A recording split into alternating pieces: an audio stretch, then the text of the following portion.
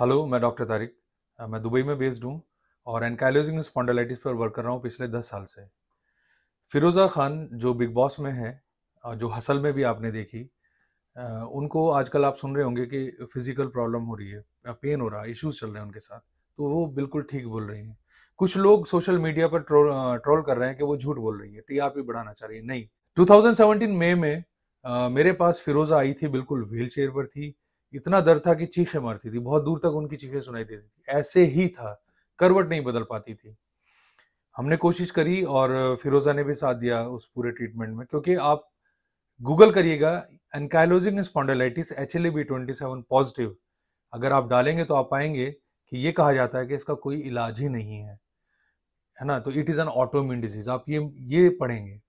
लेकिन हमने जो काम करते हैं स्पेशली जो हमने जो पूरा ट्रीटमेंट तैयार किया है, जो मेरी रिसर्चेज हैं वो प्लस फिरोजा का हौसला। इन दोनों ने मिलकर के काम किया और अब फिरोजा आप हसल में देख चुके हैं और बिग बॉस में भी हैं।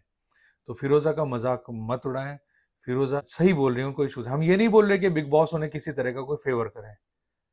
लेकिन जो लोग सोशल मीडिया पर उनका मज़ाक उड़ा रहे हैं, वो लोग थोड़ा सा एहतियात बरतें, क्योंकि वो सच बोल रही हैं।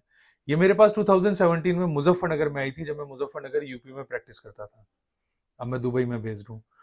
तो हम लोग गुड गुड विशेष देंगे फिरोजा को और, अल्लाह करे कि फिरोजा बिग बॉस विनर बने। Thank you